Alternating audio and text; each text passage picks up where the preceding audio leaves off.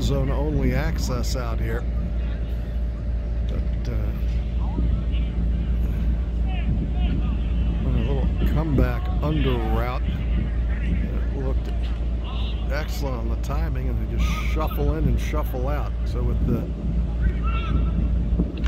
apparently running four quarterbacks at the moment, but Tua, or sorry, Leah back out there under center. Fleet behind him as the single back.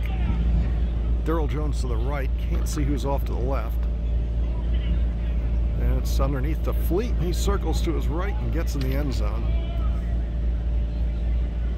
And they rotate stations, uh, moving to the left hash mark.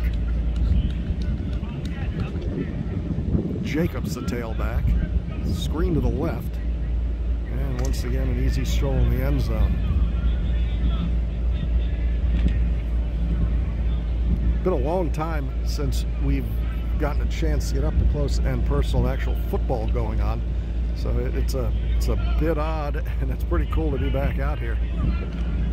Looking forward to that September 4th matchup as West Virginia comes in that Saturday afternoon.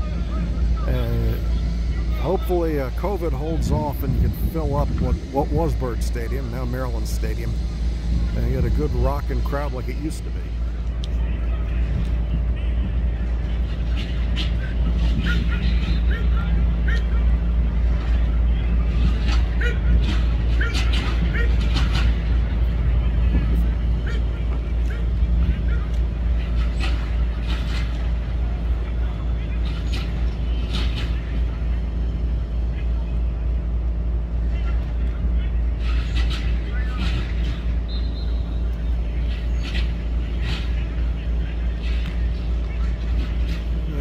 star of the show, number five, Brock Jarrett.